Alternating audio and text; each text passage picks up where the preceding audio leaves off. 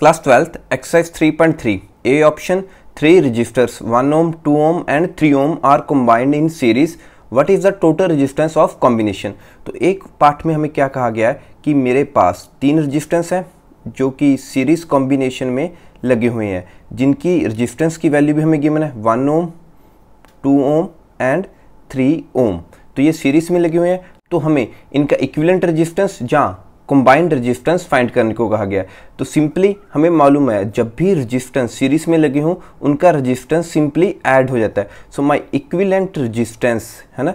हमारे पास क्या आ जाएगा? One plus two plus three तो ये टोटल कितना हो गया? सिक्स तो six ohm this is answer of first part अब बी पार्ट देखते हैं। If it combination is connected to a battery of E M F 12 volt and the negligible internal resistance तो बी ऑप्शन में हमें क्या दे दिया? ईएमएफ तो ईएमएफ हमें कितना दिया है? 12 वोल्ट साथ में कंडीशन दे दी कि निग्लिजिबल इंटरनल रेजिस्टेंस तो मैं कह सकता हूँ कि जो मेरा ईएमएफ है, वही अब मेरा टर्मिनल पोटेंशियल डिफरेंस भी होगा।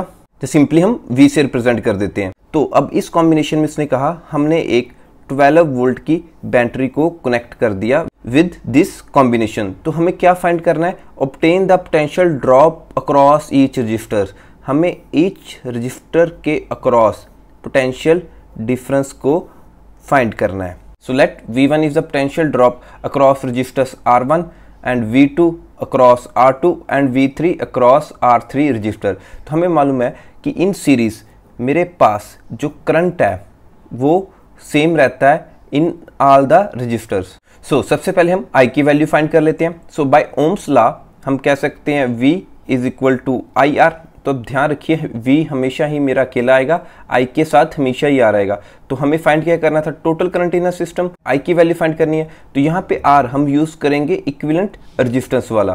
तो आई की वैल्यू फाइंड कर लेते हैं is equal to V upon R जहाँ आप इसे ऐसे भी कह सकते हैं अपसेलन बाय आर ये रेजिस्टेंस कौन सा था? Equivalent resistance so R E से हम इसे डिनोट कर देते हैं। तो यहाँ पे हम वैल्यू सब्सिट्यूट कर देते हैं। सो so, 12 इक्विवेलेंट रेजिस्टेंस हमारा कितना था? सिक्स इसे सिंप्लीफाई करें तो ये हमारे पास आ गया टू अम्पियर सो यहाँ पे मेरे पास आई की वैल्यू कितनी आ गई?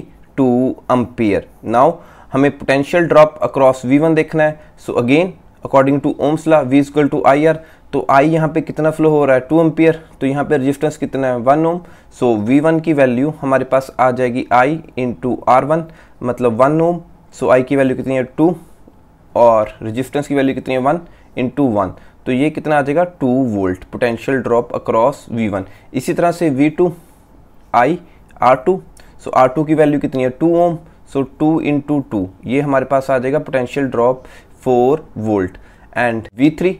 So V three हमारे पास आ जाएगा I R three is equal to two into R three की वैल्यू कितनी है? थ्री ओम तो ये आ जाएगा सिक्स वोल्ट। तो ये टोटल हमारे पास बन जाएगा twelve volt. So this is answer of our second part potential drop across each resistance